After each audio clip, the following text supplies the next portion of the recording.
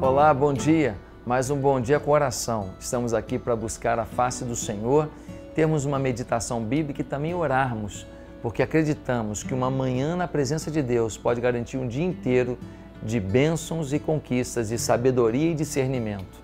Se você não se inscreveu no meu canal, faça isso, porque todos os dias temos o Bom Dia Coração. Marca o sininho, que assim você vai ter as notificações e saber a hora que a gente está publicando esse vídeo ou qualquer outro. Se você puder copiar o link e mandar para todos os seus amigos, você vai me ajudar a levar a palavra de Deus mais longe. Tenho certeza que Deus também vai te abençoar por isso. Bem, hoje quero refletir com você no Salmo 16, versículo 2, que diz assim: Ao Senhor declaro: Tu és o meu Senhor, não tenho bem nenhum além de ti. Tu és meu Senhor, não tenho bem nenhum além de ti. Quem é que disse isso? Será que foi uma pessoa que não tinha nada? Uma pessoa muito pobre? Porque ele está dizendo: Tu és o meu Senhor, não tem outro bem além de ti. Será que quando essa pessoa está dizendo isso é porque ela não tem casa, ela não tem é, como se locomover, ela não tem móveis, ela não tem dinheiro, ela não tem nada, então só tem a Deus mesmo? Ei, não. Sabe quem está dizendo isso? O homem mais rico da história. Quem está dizendo isso é o rei Davi. Sim, ele e seu filho Salomão viveram numa abundância, num patrimônio de, de trilhões de dólares se fosse hoje.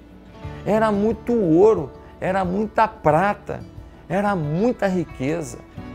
O rei Davi tinha palácios, carruagens, tinha muitos súditos, ele tinha dinheiro de sobra. Mas ele, ao olhar para toda a sua riqueza, ele diz assim: Olha, na verdade, o que eu tenho é Deus. Por que, que Davi diz isso? Davi diz isso porque o teu dinheiro não garante a tua vida. O teu dinheiro não garante a tua saúde. O teu dinheiro não garante a felicidade do seu casamento. O teu dinheiro não garante a felicidade do teu filho. O teu dinheiro não garante o fim do vício da tua filha. O teu dinheiro não garante que tudo vai dar certo para você. Ter dinheiro é bom, não tem problema nenhum se você tiver dinheiro. O problema é o dinheiro te ter.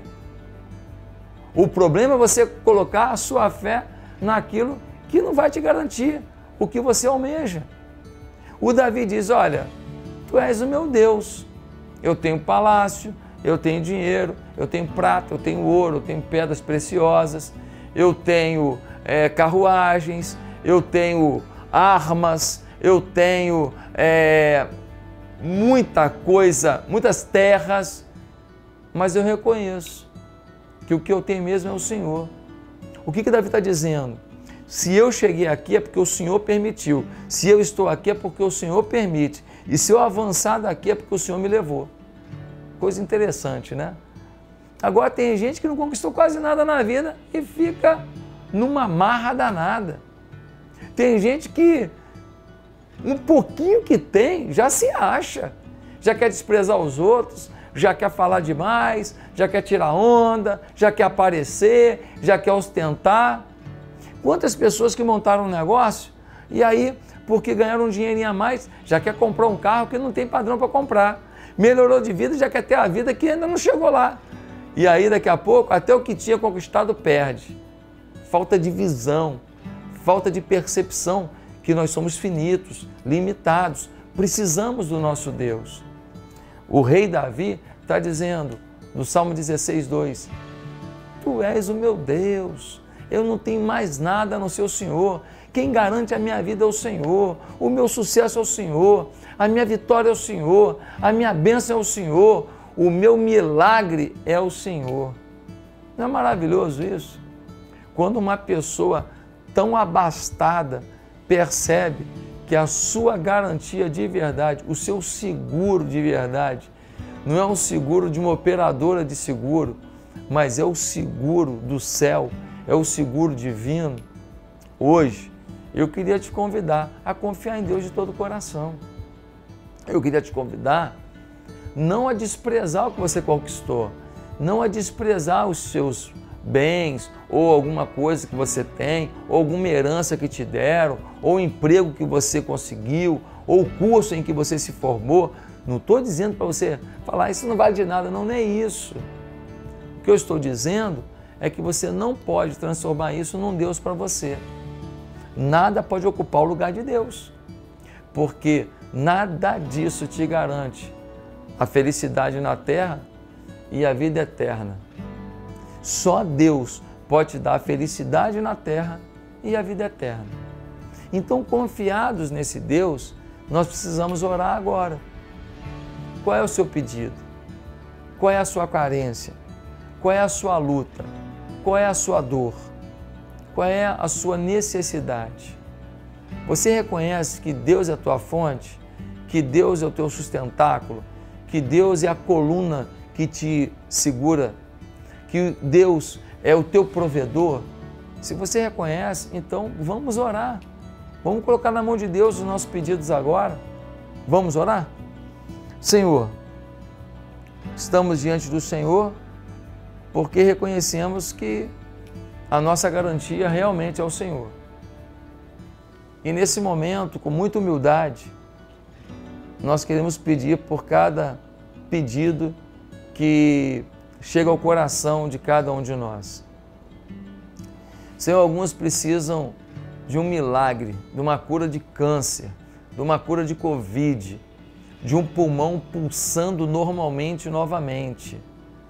Senhor, nesses tempos difíceis, de pandemias, vem com o teu milagre.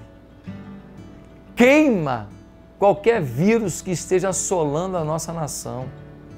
Pai, em nome de Jesus, traz vida e vida abundante para quem está enfermo e no caminho da morte, pelo menos na prescrição médica. Senhor, alguns estão precisando de uma bênção na vida de um filho. Os filhos às vezes não entendem o caminho que devem seguir. Senhor, por favor, tem misericórdia de cada filho que é lembrado agora, cada filha que é lembrada agora.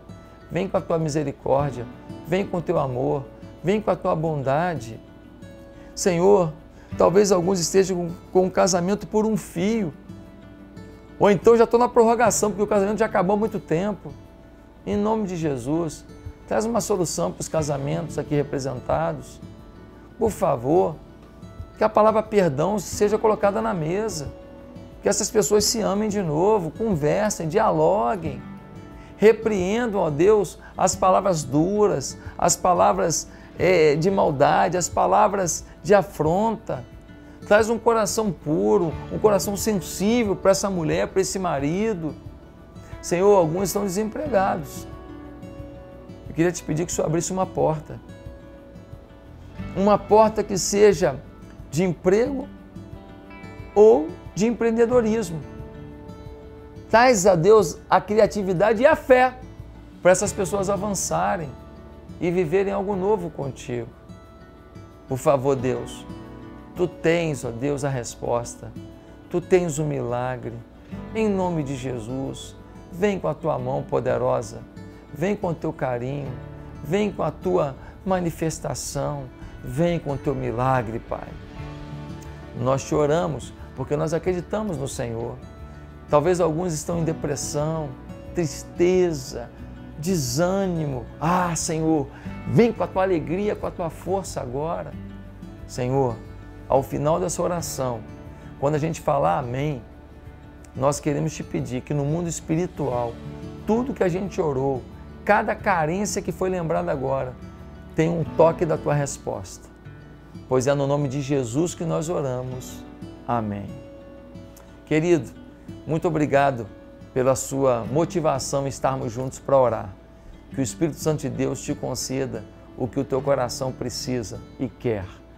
Que você tenha um dia maravilhoso, cheio de esperança e cheio de alegria.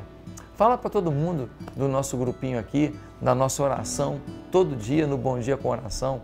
Fala para todo mundo e deixa eu te falar mais uma coisa. Manda esse vídeo para alguém, copia o link e manda. Você pode abençoar uma vida. Que Deus te abençoe. Até a próxima. Amém.